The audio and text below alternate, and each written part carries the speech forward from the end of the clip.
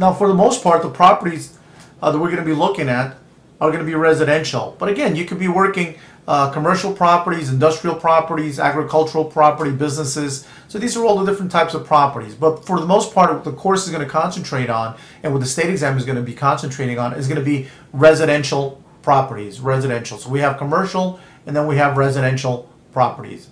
And in Spanish, we call it residencial, comercial, industrial.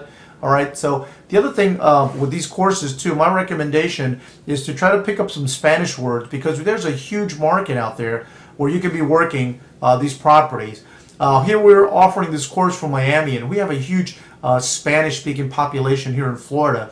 Uh, then again, you have South Americans coming down here. We have people from Spain coming down here buying properties. So there's a tremendous opportunity for you to be making money. And again, if you're you have just a, a concept of additional languages or different uh, words in your vocabulary, uh, that can help you out. Uh, again, closing the deal. So anything that can get you closer to closing the deal that's what you're looking for also. So again, you don't have to be focusing just on $200,000 properties or 400,000. Maybe you could be looking at a $5 million, $10 million mansion uh, and working with clients like that that are looking to buy those types of properties.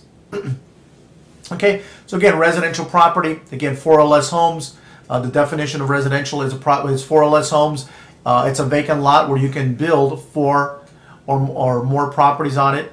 Uh, it's also uh, agricultural property of 10 or less acres. Okay, so that's pretty much the definition of the uh, residential properties. Case of four or less homes, a vacant lot where you can build four or less houses on there, an agricultural property of 10 or less acres. And one acre is equal to 43,560 square feet. Okay, and one way to remember this number, again, they're going to uh, ask you a question uh, where you might have to do a math problem related to this. So one way to remember is uh, 4 and 3 equals 7, and 5 and 6 equal 11. So 7 and 11 uh, to help you as a memory jogger uh, to remember that number. So 1 acre is equal to 43,560 square feet. Now for the most part, when we have property, we're going to have all the bundle of rights. And these rights are transferred what's called voluntary alienation. Voluntary alienation. It's a voluntary transfer. And these are called the instruments of conveyance, the instrument to transfer the bundle of rights. And it can be done with a deed or with a will. So voluntary alienation is done through a deed or with a will. Involuntary alienation, involuntary transfer, can be done through probate, escheat, eminent domain, or adverse possession. Let's take a look at probate. Now probate, if the person um, dies without a will, then it's going to go through a probate process where the court is going to determine which one of these heirs is going to get what portion of the property. So that's called a probate process. Now, when the person number two dies without a will and without heirs, then it's called escheat, to where the state is going to confiscate the property. Okay, so that's called escheat. So the property is going to return back, is going to go to the state if there were no, uh, if there was no will, uh, if there were no heirs. Okay, so again, the property escheats to the state. Number three, eminent domain. Eminent domain, for example, is where they're going to take private property for public use. So eminent domain is they're taking private property for public use. For example, uh, your home right now uh, they're gonna in where you're living. Let's say, for instance, in this example, they're gonna go ahead and construct a roadway. Well, the government is going to go ahead and use eminent domain to take over that property to construct that roadway, that highway.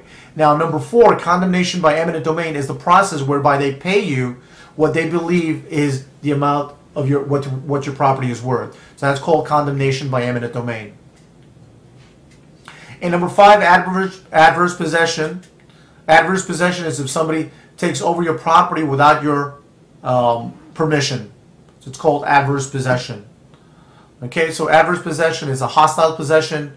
It's open possession. Uh, the person pays the taxes. They put a claim on the title.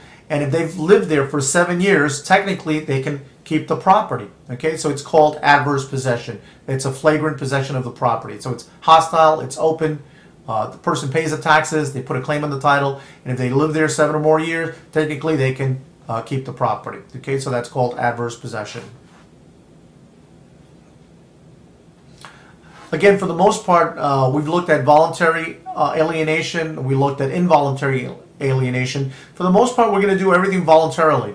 So when we sell a property, we're going to do it through a deed, which is called the instrument of conveyance. The instrument of conveyance is the document that conveys title, it transfers title.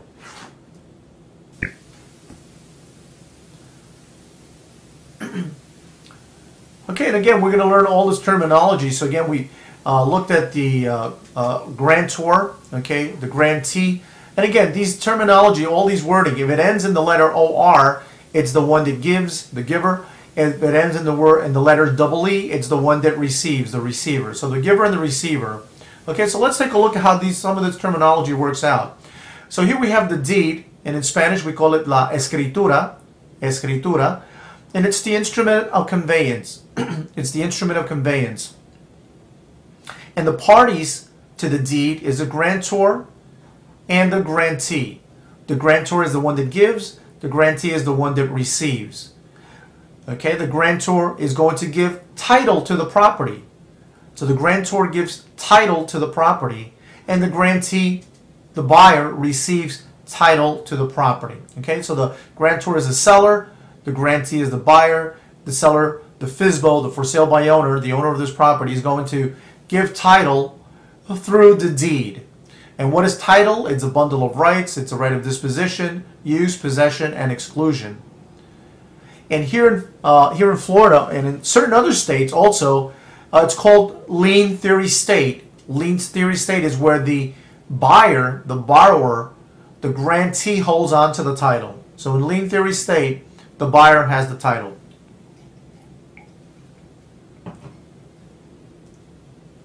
Okay, so there we go. We have lien theory state and title theory state. Okay, so in lien theory state, the grantee, the buyer, the mortgagor, has the title to the property. Whereas in number two, the title theory state, the mortgagee, okay, what's the mortgagee? Again, we have to learn some of this terminology. Okay, the lender has title to the property. Okay, so the bank, the lender, the mortgagee. Okay, but in Florida, it's a lien theory state where the buyer, the mortgagor, has title to the property. So again, we're learning all this uh, new terminology. Okay, and again, the grantee, the mortgagor, the buyer. But again, you're not going to see the buyer in the in the state exam. They're going to give you words to uh, trip you, to confuse you. So you have to become very familiar uh, with who's the mortgagor, who's the mortgagee, who's the grantor, who's the grantee. And again, it's just practice and re repetition, and it'll help you uh, to memorize all this terminology too. okay, the deed is going to be recorded, and the purpose of uh, recording is to give what's called constructive notice. Constructive notice. It's a public record uh, that we're making. Okay, uh, actual notice. It's an informal notice, and uh, before. Uh, let's say in the 1800s, where they didn't have any courts and people lived out in the mountains, they would, uh, let's say for instance, you had a buyer and a seller Okay, the buyer had horses and he wanted to trade the horses for this ranch.